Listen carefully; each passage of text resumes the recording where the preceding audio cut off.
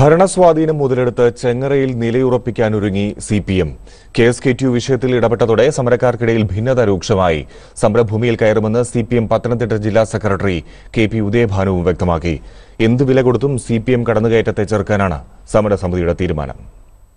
സമരക്കാർക്കിടയിൽ ഭിന്നത രൂക്ഷമായതോടെ ചെങ്ങറയിൽ സംഘർഷവും അടിപിടിയും പതിവാണ്. ഈ സാഹചര്യം മുതലെടുക്കാനാണ് സി പി എം നീക്കം. കഴിഞ്ഞ ദിവസം ചെങ്ങറ സമരഭൂമിയുടെ പ്രവേശന കവാടത്തിൽ സി പി എം കൊടിനാട്ടി എന്നാൽ ഒരു വിഭാഗം സമരക്കാർ അത് നശിപ്പിച്ചു.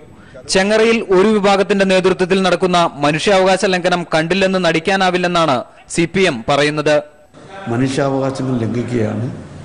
അവിടെ പ്രത്യേക ഒരു രാജ്യമായി ചെക്ക് പോസ്റ്റ് ഇട്ട് നികുതി പിരിക്കുന്ന നടപടി ഒരു കാരണവശാലും അംഗീകരിക്കാൻ കഴിയത്തില്ല. അവിടുത്തെ പ്രവർത്തനങ്ങൾ അവസാനിപ്പിക്കാൻ ആവശ്യമായ നടപടി സ്വീകരിക്കും.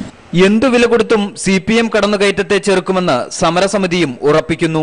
ചെക്ക് പോസ്റ്റ് എന്ന് അവർ കൊടുത്ത പരിവേഷമാണ്. അത് ഞങ്ങളുടെ സുരക്ഷാ കവാടം പൊളിക്കുവാൻ അവർ ശ്രമിക്കുമ്പോൾ ഈ സമരത്തെ തകർക്കാണെന്ന് തന്നെയാണല്ലോ. അതിലൊരു കാരണവശാലും അത് അനുവദിക്കത്തില്ല. പുതിയ പാക്കേജ് സൃഷ്ടിച്ച് സമരക്കാരെ ചെങ്ങറയിൽ നിന്ന് ഇറക്കാനുള്ള തന്ത്രമാണ് സി പി എം ജില്ലാ കമ്മിറ്റിയെ മുൻനിർത്തി സർക്കാർ പ്രയോഗിക്കുന്നത്. ഭരണസ്വാധീനത്തിലൂടെ സമരത്തിലേക്ക് കടന്നുകയറാനാണ് സി പി എം ശ്രമം. എന്നാൽ പൊള്ളയായ വാഗ്ദാനങ്ങളിൽ വീഴില്ല എന്ന നിലപാടിലാണ് സമരക്കാർ. ചെങ്ങറയിൽ നിന്നും ക്യാമറമാൻ വി എസ് രാജീവിനൊപ്പം അനൂപ് ശ്രീധരൻ മനോരമ ന്യൂസ്.